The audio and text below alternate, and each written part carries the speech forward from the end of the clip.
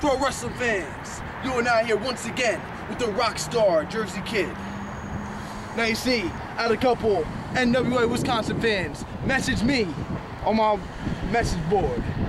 And you see, they told me about a little extreme force in the NWA, and they like to call themselves the Beer City Bruisers.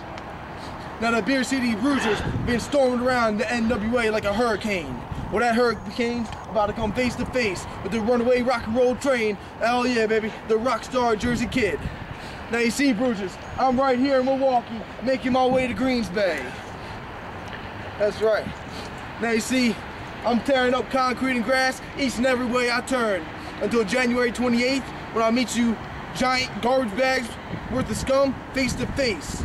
I'm going to show you exactly what respect means in this pro wrestling business.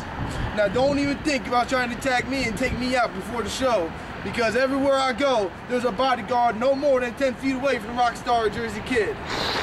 Oh yeah, NWA Wisconsin, it's party crashing time.